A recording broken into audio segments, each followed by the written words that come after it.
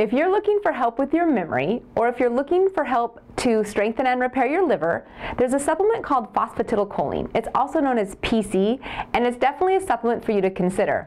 The way it works is PC is a critical part of every cell in the human body.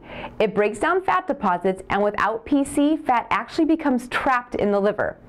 PC's best documented use is for improving liver damage, and more specifically, speeding up the functional and structural rebuilding of liver tissue.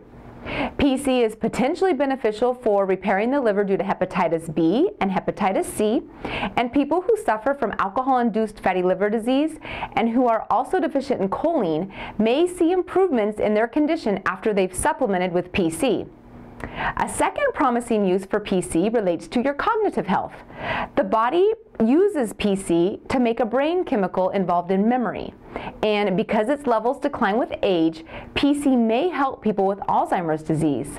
Clinical studies have not yet supported this theory 100% with the Alzheimer's disease, but certainly people with mild to moderate dementia may benefit from supplemental phosphatidylcholine.